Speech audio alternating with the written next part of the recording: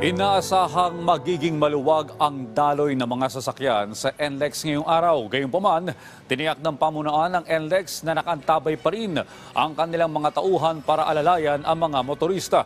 Ang sitwasyon sa NLEX alamin sa sentro ng balita ni Mela Las Moras live.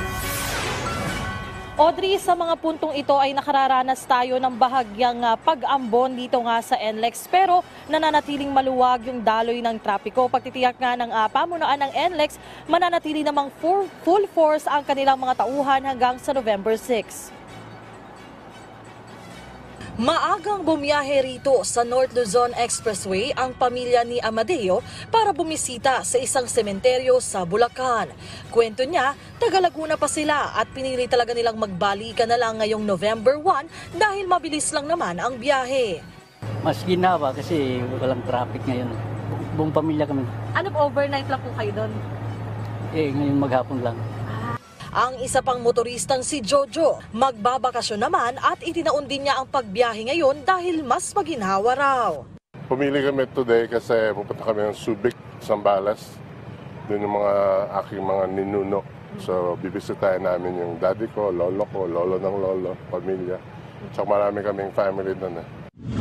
Ayon sa pamunuan ng NLEX, ngayong maghapon inaasahang magaan ang magiging daloy ng mga sasakyan dahil nagpeak na ang dami ng mga motoristang biyahing probinsya nitong nagdaang weekend. Tanging sa mga toll plaza lang nagkakaroon ng bahagyang build-up pero pagkatapos ng undas, siguro sa Saturday, at November November 4, ano, ng hapon na kami konti na pong uuwi.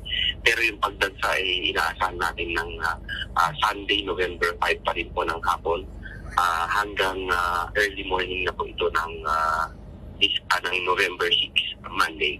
Para magserbisyo at tumulong sa mga motorista, nasa 1,500 ang mga tauhan ng NLEX na naka-duty sa loob ng linggong ito. Sa ilalim ng kanilang Safe Trip Mo Sagot Ko 2023 program, may hatiding free towing service ang NLEX hanggang bukas para sa mga magkakaaberya ang sasakyan. At para sa traffic updates, maaari namang i-check ang kanilang social media pages o tumawag sa kanilang hotline na 135000.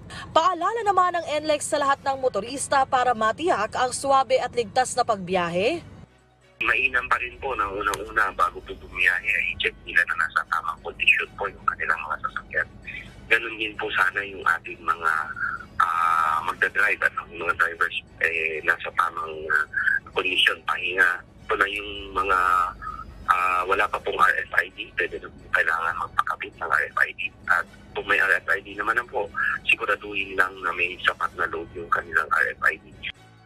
Audrey, kanina ay nag-ikot din tayo dito sa mga service road dito nga sa may NLEX dahil may mga sementeryo din kasi na malapit dito sa NLEX, no? At ang magandang balita, pati yung mga service road dito at yung mga iba pang konektadong kalsada ay maluwag naman yung daloy ng trapiko kaya't hindi dapat mag-alala yung ating ah, mga motorista. Yun nga lang, Audrey, no, talagang ah, nakararanas dito ng pabugso-bugsong pag-ulan na mahina at ah, may paglakas ng konti yung iba. Kaya dapat ay ah, nakahanda rin at doble ingat yung ating ah, mga motorista, Audrey. Okay, Mela, wala naman sana pero may naitala rin bang mga aksidente dyan sa NLEX o iba pang insidente na nagdulot ng pagbibigat ng daloy ng trapiko nito mga nakalipas na araw? Audrey, ang sabi ni Sir Robin Ignacio ngayon nga nga para sa BSKE at Undas, ang ah, magandang balita, wala naman silang naitatalang ah, major accident o iba pang ah, insidente na talagang nagdulot ng matinding ah, daloy ng trapiko. So sa ngayon ay maayos na may sitwasyon. Meron lang Audrey na mga ilan na itatala na na na flata ng gulong o nagkaroon ng ah, konting sira yung sasakyan. Pero yun lang yung ah, so far at sana naman ay wag na magkaroon pa ng ah, malala no. Pero ah, ang magandang balita nga hindi naman sila pa nakakapagtala ng mga major accidents at ang hiling nga nila doble ingat sa lahat ng motorista para yan ay manatili hanggang ah, sa pagtatapos ng long weekend. Audrey? Okay, ingat po sa ating mga kababayang babiyahe pa lamang. Maraming salamat sa iyo, Mela Les Moras.